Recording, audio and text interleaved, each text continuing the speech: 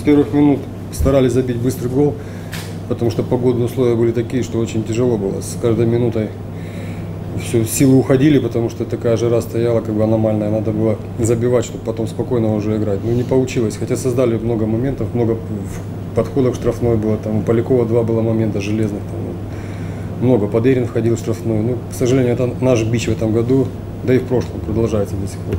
Создаем много моментов, мало выжимаем из них, потом забиваем таких моментов, которые как бы не должны были забивать, или со стандарта.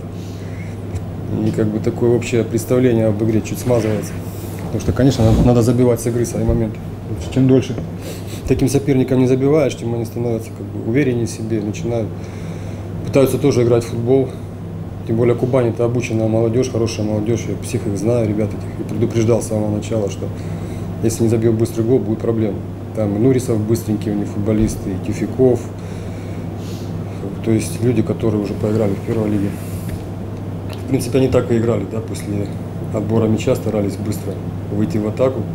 В каких-то эпизодах даже имели такое территориальное преимущество. Но тем не менее, как бы все равно, я думаю, что выиграли по игре, забили пенальти, создали много моментов голевых. Бы так результатом матча довольны. У нас довольно-таки возрастная команда, но у нас сегодня ни одного человека судорога не схватило. То есть, а у Кубани там два или три человека, молодые ребята, выносили их с поля. Как бы. Поэтому, что касается готовности физической, это я в этом вообще ни, капельки не сомневаюсь.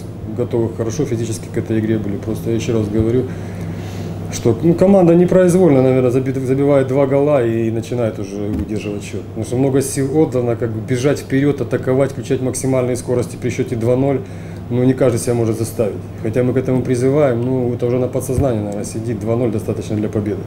Поэтому как бы команда останавливается, естественно, останавливается, и поэтому мы производим замены. Произвели замены, выпустили быстрых футболистов, которые мы понимали, что нельзя сейчас садиться и останавливаться. Нужно дожимать, дожимать, дожимать. Нужно даже счет 3-1, пропусти какой-нибудь дурной мяч со стандарта, 3-2, и в конце уже начнется напряжение. Поэтому старались сразу выпустить быстрых футболистов, чтобы все равно игру отодвинуть от своих ворот и играть больше на атаку. Бьет Мирошниченко у нас э, пенальти. Ну, просто человек заработал, он вышел действительно. Заработал этот момент сам, он сам его создал, ворвался, там пошел в обруч, на него свалили. Ну, как бы решили, что он пробил. Ну, кстати, это говорят, что плохая примета, когда игрок, которого, на котором нарушение делает, бьет пенальти по статистике очень часто не забивает. Что поздравляю всех горожан с этим праздником. Это такой действительно такая дата, которую в Армавире всегда отмечают с большим размахом. Поэтому и люди с удовольствием отмечают этот праздник, этот праздник. Присоединяемся всей командой нашей. От всей команды хочу поздравить горожан, пожелать всех, всех благ, процветания.